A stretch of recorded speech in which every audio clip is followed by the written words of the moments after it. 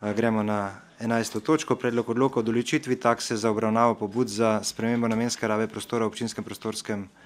načrtu občine Kamnik, prva obravnava, predlog odloka je objavljen v gradivu številka dvanajst, predlagatelj je župan, poročevalka pa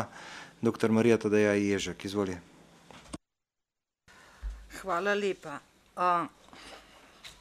hvala, da kdo opazi moje delo, ampak, če ste poslušali teh teh triindvajset občin, ima zelo velik aparat na oddelku, pa nimajo še osnovnega opana, tukaj gre pa za tretje spremembe, ne. Je, če ste malce poslušali, a ne, v bistvu ta prostorski načrt je živ pač postopek, a ne, pobude sprejemamo, če ste poslušali, so tudi številne negativne pobude, a ne, pač bile iz takih in drugačnih razlogov niso bile pač upoštevane. Nekatere žal na tem mestu, moram reči, da tudi nikoli ne bodo upoštevale, ne, zato ker pač ljudje, pobudniki, lastniki zemljišč si včasih želijo pač zazidljivo zemljišče na tistih območjih, ki jih nikakor čez ministrstva, ne glede, da sem, da v bistvu sem zelo veliko aktov sprejela, ne glede, da sem dober pogajalec, da sem nekako tudi znam milo prositi, ampak ne bo. To so v bistvu zaščitena območja, to v bistvu gre za varovano območje, gre za poplavne zadeve, veste, da po poplavah, a ne, v bistvu se je malo tudi poplavna ogroženost občine Kamnik spremenila, ampak stodvajseti člen Zakona o urejanju prostora, ne, pravi, da pač je treba, lahko občina tudi predpiše takso za obravnavane pobude. Številne pobude, a ne, ke smo jih pač v tem postopku prejeli, a ne, v bistvu, to so v bistvu takse nismo zaračunavali, je pa ta postopek v bistvu glede na vse te študije, ki jih je potrebno izdelati, tudi zelo, zelo drag. In zato zakon nekako pravi, da lahko občina predpiše takso za obravnavanje pobud za spremembo namenske rabe prostora, plačilo takse sicer ne zagotavlja spremembe namenske rabe prostorov OPN, temveč zgolj obravnavo, ustreznost pobude z vidika njene skladnosti s temelji urejanja prostora. Cilji prostorskega razvoja občine in pravnimi režimi v prostoru ter z vidika možnosti opremljanja zemljišča s komunalno opremo in drugo gospodarsko javno infrastrukturo. Plačilo takse je zgolj pogoj za obravnavane pobud. Višina takse v bistvu v skladu z veljavno zakonodajo lahko pač znese od petdeset do tristo, mi smo nekako skušali,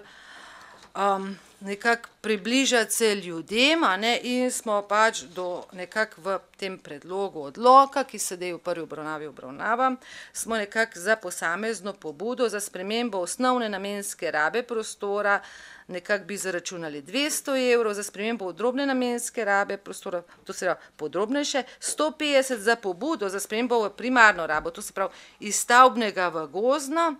iz stavbnega v kmetijsko in stavbnega v vodno pa se taksa ne plača.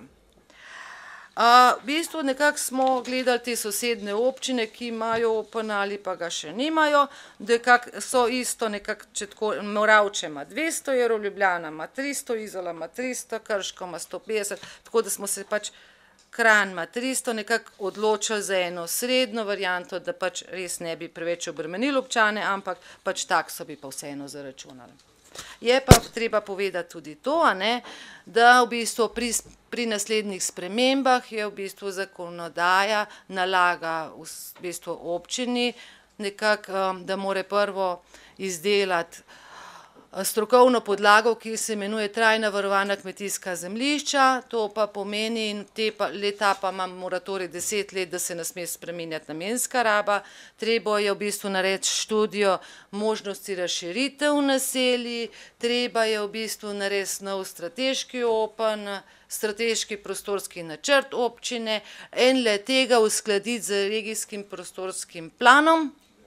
ki pa naj bi, včeraj sem imela anketo na mislim anketo, in so pač, razlagali, da pač v ta regijski razvojni plan mora biti sprejet do konca drugega leta, torej če vse, to naštejemo, ne, lažje je napisati en odlok kot pa tole skupaj spraviti, a ne. No, zdaj pa jaz v bistvu vas, pač tukaj imamo ta predlog v, in ga prosim za obravnavo in sprejem v prvi obravnavi za te takse. So pa te pobude um, nekako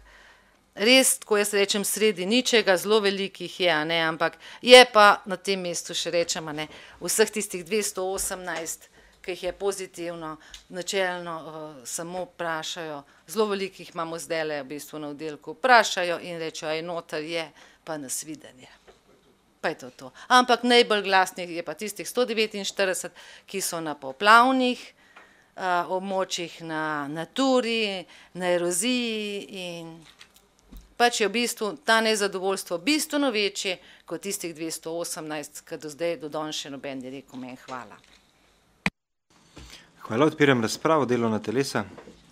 svetniške skupine, svetnice, svetniki. Ne, zaključujem razpravo, glasovali bomo o predlaganem sklepu.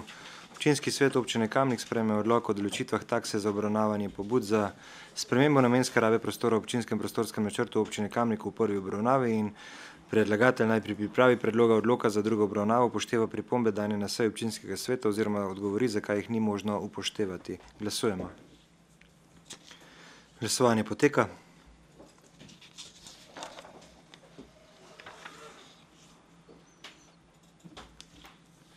Zaključujem glasovanje. Za je glasovalo 27 svetnic in svetnikov, proti nihče. Ugotavljam, da je sklep sprejet in točka zaključena.